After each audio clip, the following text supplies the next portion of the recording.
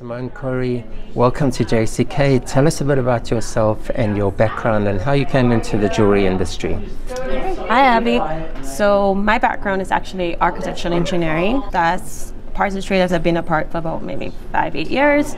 And I've always been an artist, always loved playing with different mediums. And to me, I will always say like it's like my left brain and my right brain is active. And jewelry provides like the perfect opportunity, the perfect medium where I can express both sides of myself. I always felt that jewelry is so influenced by architecture. There's a connection in terms of how you're using shapes to formulate your design. Yeah, and also the engineering part. You see that in a lot of my pieces as well, because mm-hmm. I think about how um, aesthetics and function combine, and it's so true. Like in architectural engineering as well, you study form and you study function, and so you tend to look at pieces like, huh, if I had it, how would I wear it?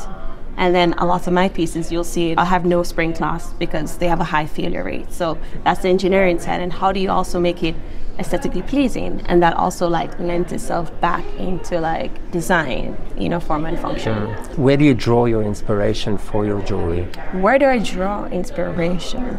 So there's a mixture of different things. There is what I'll say, just everyone like observation, or I will notice, well, I didn't like how something performed. How would I modify. Mm. And then things in a more creative span would be just traveling or something will come into a dream and I'll like expand upon it based on influences. So like in my collection I have two. One that will show like more uh, let's say fantasy because I can't think of another word for it right now. That is more on that artistic lighter version and one that's more like utilitarian and based on function.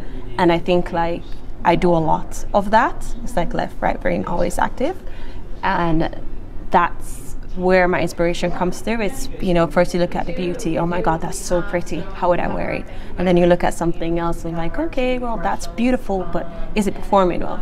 Right. So tell us about your collection that you're presenting at JCK. Awesome. So I have two, I built upon two of my existing collection as a baby brand. When I initially got in, I was wavering how I wanted to position myself, you know, not having a collection at all, just designing ad hoc pieces until I formulated two strong collections that I'm very proud of and that really resonates with me as a being. So we have the legacy line, which is a motif that is unique to my brand. So for example, let's look at this bangle. This is unique. This is the first one that started it. I'm like, oh, it's such a cool motif. It's unique to me. And what I like about this, as pretty as it is and as lovely as it is, you buy one piece in like a gold and you can build upon your existing collection. So they interlock. That's, That's cool. the form and the function. I so I think about this a lot as like the everyday, the new classics, where it's really giving a lot to you in the imagination to play upon. Like they're just simply beautiful on their own, but together they do a lot more, or when you layer them together. So with the legacy, you'll see anything with the three prongs, that's all the legacy. And the links collection, which is smaller built upon this one. For example, the chain, and I'll show you why I call it links. I guess it's in between. I wear my locks to the front. I've always done that. Mm-hmm. And I'm like, lobster clasp feel. I've been a fan of them. And this was one of the first ones that I designed. And all of them just kind of, can you see? Yeah you know, slide in, slide out, awesome. and then you can build upon the same thing as telling you about. It's like you look at it at face value, and so this is the you know plain gold.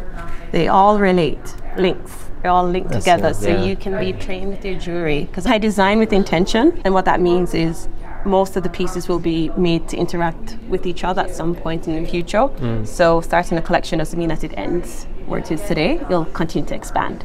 Right, that's awesome. How is your collaboration with Lorraine Schwartz, with the NDC? What are you hoping to gain from it, or what have you gained from it already?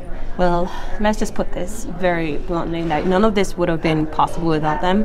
Into perspective, August this year will be two years of me being in this industry. Amazing. So at the rate that I've been exposed and catapulted into this space with confidence, came through a lot with the mentorship through NDC, especially with pairing with an excellent mentor that helped me through the design phases. Even like, you know, we have Tara, Tara and Grant, the, the group's parents. And if we don't, you know, have a question, we ask them. And before, what was happening is like, I'm engineer, googling, trying to find a solution, wrong, trial and error, trial and error. And with them, you're able to just exceed efficiently in the right direction. That I don't think it would have been possible without Yeah. them. Well, it's always been a people industry on every level, and that aspect of mentorship is something that I never ever thought about before. Um, so you've brought that to light. It's such an important part of the industry's dynamic. It is. And the industry is lovely. Like, you have so many different people with different perspectives, and it's so cool to see how we interact and the perspectives. Like, there's a lot of architectural students that, or past professions that are in this industry, and I think there's just a call into jewelry And I think it's more so if you have this idea in your head, you can make it tangible, and it doesn't take two years. It can, you know, take months, but it's so cool. And I don't think that's possible in all of the trades. And then it's an expression of who you are. Yes, it's an extension. That's cool. Thanks so much for talking to us. Thank you so much.